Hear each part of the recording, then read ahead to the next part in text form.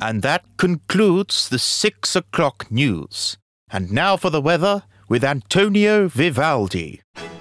Well, springtime is upon us, and the birds are celebrating her return with festive song.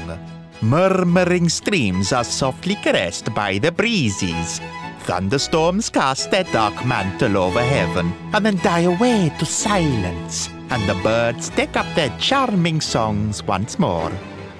Going into summer, beneath the blazing sun's relentless heat, men and their flocks will swelter and pines will scorch. It wasn't that Vivaldi was long winded or anything, just that he firmly believed in the power of description. His weather report comes from a series of sonnets. They celebrate the seasons of the year, and Vivaldi probably wrote them himself. Some say he was inspired by Baroque artist Marco Ricci's paintings. Whatever their origin, Vivaldi took the radical step of publishing the poems in his score for the Four Seasons.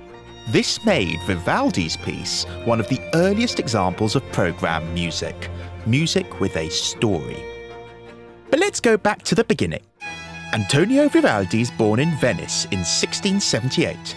Daddy Vivaldi's big in the Baroque gig economy, part time professional violinist, part time flamboyant hairdresser. In all things violin, he teaches Antonio some dazzling bowing tricks. In all things hair, well, let's just say Antonio's flaming ginger locks need some serious tending to. They give him a notorious reputation when young Antonio enters the clergy. Everyone's calling him Red Priest. The Red Priest sounds cool, no? Like Black Widow, Iron Man, or Scarlet Witch. Trust me though, Antonio's no Avenger. His asthma means he can barely recite Mass. So he packs in religious orders and career changes to violin teacher at a Venetian orphanage. And what a stroke of luck! For this orphanage only has the most legendary music department in Italy.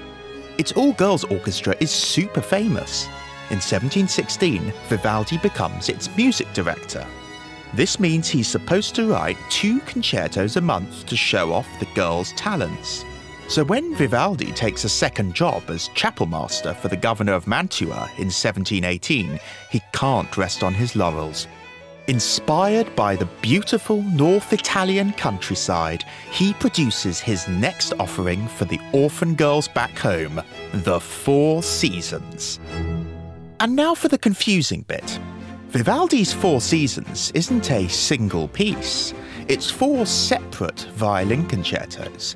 And those four concertos are in fact part of one mega piece of 12 violin concertos. The four concerto box set's published in 1725 and catchily titled The Contest Between Harmony and Invention. The first four concertos are called Spring, Summer, Autumn, and Winter. Each is written for solo violin, accompanied by violins, viola, and basso continuo. A Baroque continuo is essentially a groovy bass line played by harpsichord and cello, provides some backbone to the piece. Each concerto split into three movements, each movement corresponding with each of the three sections of each of Vivaldi's sonnets. Confused? Well, hang on in there. Vivaldi not only printed the text of the sonnets in the music, he even inserted descriptive words next to particular notes. Words which inform performers to this day as to whether they should be playing like a barking dog, a singing cuckoo, a violent storm, and so on. Spring, the first concerto, opens with an infectiously happy theme. It's interrupted by a chorus of singing birds. Violins imitate their trilling, tweeting, and chirping at each other. A gentle breeze blows across creeks and murmuring streams. A thunderstorm fills the sky for just a moment, but it's only passing. When it dies away, the birds reappear and sing their charming songs in the new calm of nature. We're then introduced to a sleepy goat herd lying on a flower strewn meadow. Branches sway overhead and the leaves rustle. His faithful dog sits by his side. The viola mimics its bark, which lasts throughout the entire movement. So much for Mr. Goatherd getting some shut eye. Spring's final movement is a festive dance of shepherds and nymphs. We hear the sound of bagpipes playing over the rustic drone of low strings. Summer begins in the oppressive heat of the sun. It beats down on a shepherd and his flock. We hear a cuckoo. It's followed by the sweet song of a turtle dove. We then hear a goldfinch and Vivaldi nails the call of each species, bang on, like a man who's binged watched Attenborough. A north wind sweeps in and the shepherd boy starts to tremble and cry. Cry? It's just weather, get over it. Well, this isn't some minor breeze. The distant rumbles of thunder give that away. A violent storm's coming his way, and the boy's crying because he's worried about his flock and his crop. Shepherd Boy tries to sleep off his anxiety. Maybe bad things just disappear when you retreat to bed. Dream on, Shepherd Boy. An invading swarm of buzzing gnats and irritating mosquitoes drives him absolutely nuts. And now it's too late, for the heavens open and the hail falls. The tempest's thunder is conveyed by the wild arpeggios and vigorous scrubbing of the strings. Just what Shepherd Boy feared for this balmy August evening has seen his crops obliterated. Good news, though, is that autumn ushers in a bountiful harvest. Peasants celebrate with a village dance, and then Vivaldi inserts in the score the word drunk. Yep, everyone's had a bit too much, and the solo violinist gives us a boozy display of dazzling virtuosity. No one really remembers what happened that night, but everyone feels the hangover the next morning. Tinkling harpsichord and muted strings play some woozy chords as the sleepy revelers open their eyes to the blinding light of a new day. But it's no snooze button today, for it's hunting time. Some horns announce the approach of the hunt party. Horses prance in stately fashion, though their eyes are glued to the prey, a fleeing stag. As the hunt follows its trail, the solo violinist plays the part of the stag, who starts to tire. We hear the noise of baying dogs and rattling gunfire, and the beast is slain. Sad times, but oddly dignified music, for hunting was a seasonal pleasure for the 18th century Italian aristocrat. But now it's time for harsh winter. The instruments enter one by one, piling one on top of the other with grating dissonance, cause it's absolutely freezing, like painfully cold. Perhaps Vivaldi was thinking of that terrible winter back in 1708. Remember when Venice's lagoon froze over? The violin mimics the blowing of an icy wind, scrambling across rapid fire scales. We hear the thunderous chattering of teeth as the entire Venetian population runs about in circles, furiously stamping their feet to keep warm.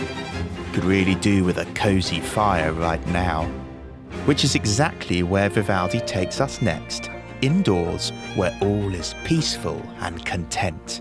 You know that lovely feeling when you're all snuggled up and can hear the pitter pattering rain across the windows? Well, that's what these pizzicato violins imitate. The Winter Concerto ends with an image of people treading ever so carefully on the ice.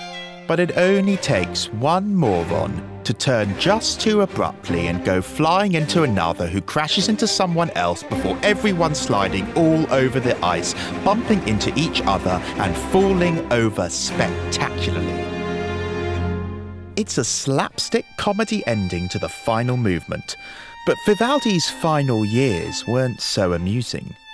His spending habits were as prolific as his acclaim, so he died a pauper in 1741. And after that, well, people just kind of forgot about him. It's only because the brilliant J.S. Bach raved about him that Vivaldi's legacy even warranted so much as a footnote.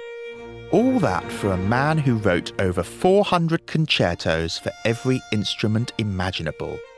In fact, all that for the man who popularised the concerto in the form we know today.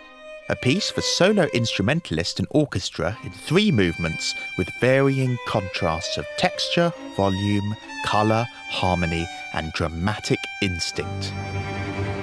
So, for 200 years, Vivaldi was left on the shelf.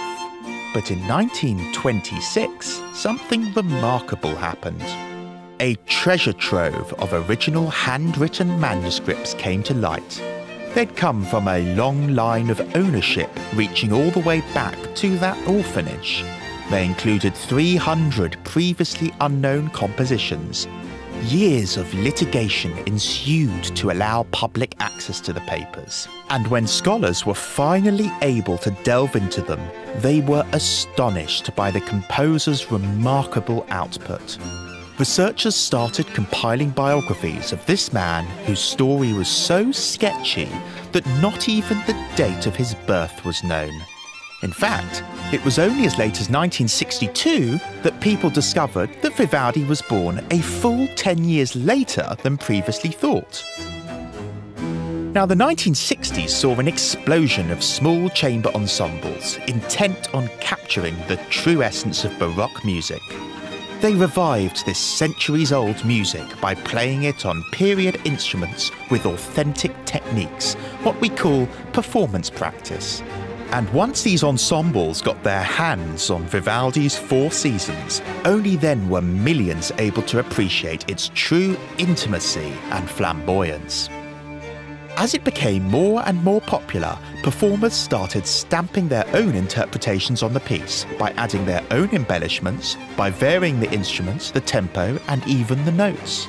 Nigel Kennedy's 1989 recording of the Four Seasons truly broke the door down Kennedy added percussive sounds to emulate the gunshots of the hunt. He added Jimi Hendrix inspired sirens and screechy harmonics for the Autumn Concerto, a freakishly rock star interpretation that found a massive audience and which became the best selling classical recording of all time. And it's this variety of interpretations this newfound popularity with audiences across every walk of life that means Antonio Vivaldi is no longer that neglected composer. He's truly, truly a man for all seasons. Well, that's it, folks. Follow our channel, support us on Patreon, listen to the piece in full, and most importantly, enjoy classical music.